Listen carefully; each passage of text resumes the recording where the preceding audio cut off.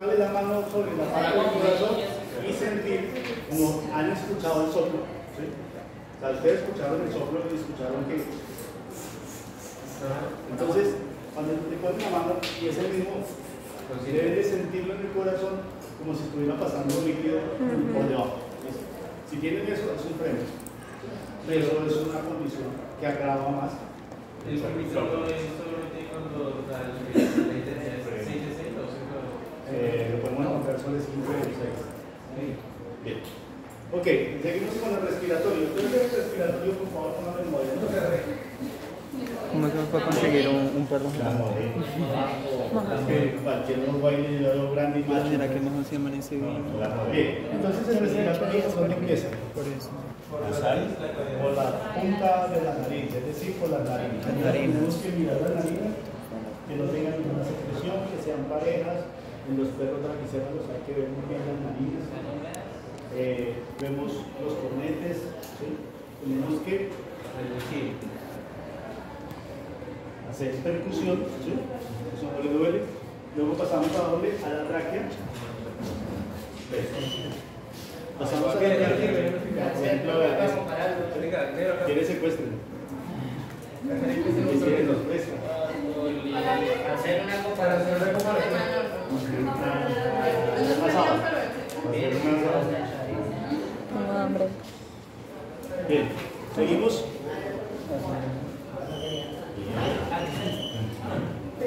Y hacemos la prueba, la palpación de reflejo tusido. Entonces, debajo de la laringe, hacemos presión en la tráquea, soltamos. Y entonces, reflejo tosiendo. ¿Cuántas veces toser? Una, dos, tres. ¿Sí? La que pegue a toser ahí como vimos en el video que duró como una- un minuto tosiendo. Ay, Dios ¿Qué mío. pasa? El reflejo tosiendo es positivo y eso qué implica? Implica que hay un daño en la tráquea, un proceso inflamatorio. Sí, eso se coge y aprieta la tráquea, se aprieta un poquito, se, su- se aprieta, se aprieta así. Ah, como sacándola. Sí, así, como pellizcándola. Sí, Pero, pero completa. Ella no mira Entonces lo que hace uno es coge la laringe, agarra la tráquea por detrás, la comprime y la va pellizcando y la suelta. ¿Puedo hacer conmigo? Pues si quieres- ya, ya soy especialista. Listo. Entonces ya hicimos toda la observación. La tráquea, la laringe, así. Tenemos que hacer la observación, la inspección de los movimientos respiratorios. ¿sí? Entonces tenemos que ver ambos emisores, cómo se insuflan, ver cómo está la respiración, si la respiración es costal o solamente abdominal.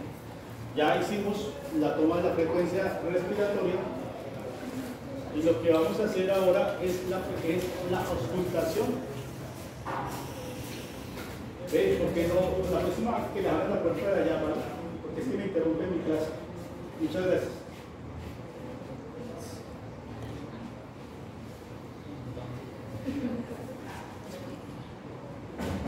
Entonces, ¿nosotros qué vamos a escuchar? Los sonidos respiratorios, de inspiración y de expiración. Entonces, escuchamos ese sonido y ingresa aire y sale aire. ¿Qué vamos a encontrar normal?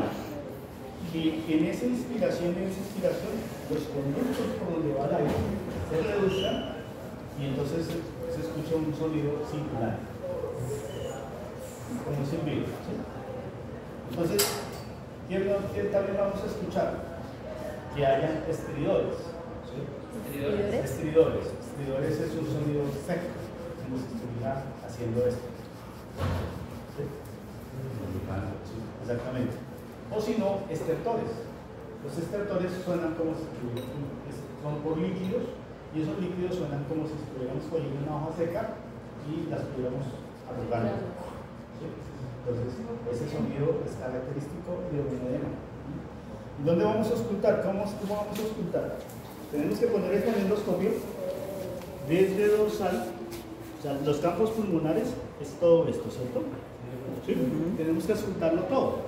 Entonces empezamos a auscultarlo desde dorsal craneal, vamos bajando y vamos formando como una M o una W. ¿sí?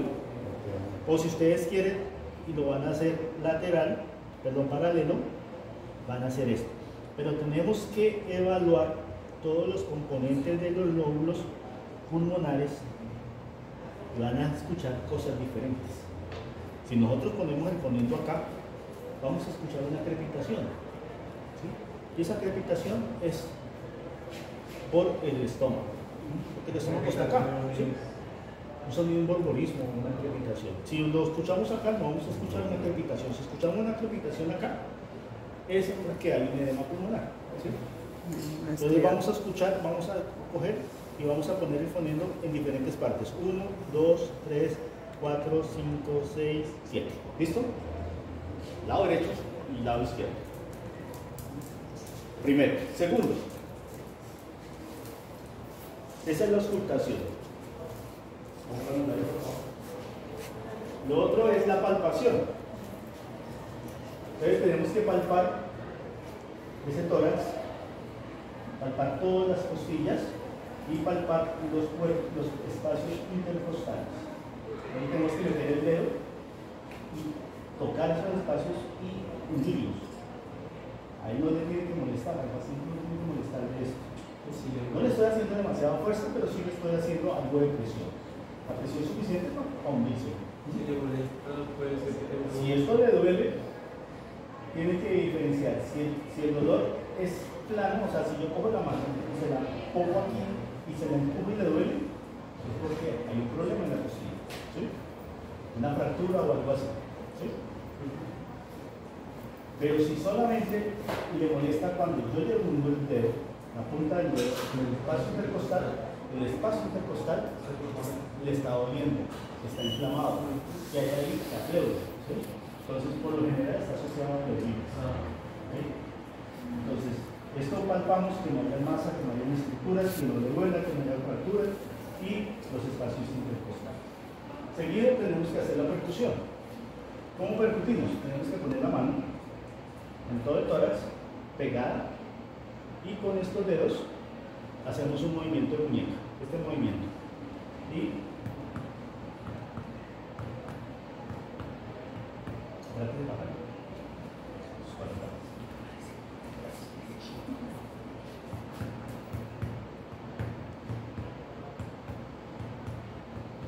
así como escuchamos, percutiendo, es decir, en todos los lóbulos. Si cogemos acá, voy a, a, a percutir acá. Y si percuto acá, el sonido es diferente, ¿cierto? Hay una mayor macidez acá, el sonido más. ¿sí? ¿Por qué está sonido mate? Porque aquí encuentro unas, unas vísceras que están metidas en la cavidad abdominal, pero hacia la caja torácica. Pero entonces, si yo encuentro esa misma macidez aquí arriba, ¿qué puede estar pasando? Una, puede ser un edema, puede ser mucho líquido, ¿sí? terrible, puede ser una masa. Entonces, el sonido normal que escucha uno acá, ¿cuál es? Como un hueco. Sonido claro. Sí. ¿sí? Hueco. Existe sonido claro, sonido timpánico, sonido mate, sonido submate. Si yo cojo acá y percuto aquí la cadera, ese sonido es un sonido mate. ¿sí? ¿Sí? Este sonido es un sonido claro. Ahora párenlo, por favor. Ahora, si cogemos aquí, en, el la parte del vientre, si tuviéramos un estómago un poco dilatado con aire, sería como si tuviéramos un tambor, ¿sí? Ese sonido sería timpánico. Entonces, el timpánico está asociado a aire dentro de una cavidad visceral. ¿sí? Timpánico.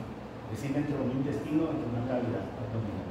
Timpánico jamás va a ser a nivel del pulmón, a pesar de que el pulmón tiene aire. El sonido del pulmón es un sonido claro. El sonido mate corresponde a la palpación, a la percusión del hueso.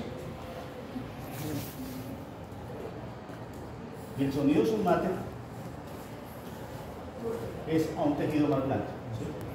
Entonces, aquí vamos a encontrar un sonido submate, un sonido claro. Si encontramos mate, solamente va a estar asociado a la parte ósea. Entonces percutimos en todos los dos emisores de la misma forma que escuchamos, formando una doble. Tenemos inspección, tenemos palpación, tenemos percusión y tenemos auscultación. Desde la punta de la nariz hasta el último espacio intercostal. Y ahí termina el respirador. Háganlo. Hola, profe. Buenos días.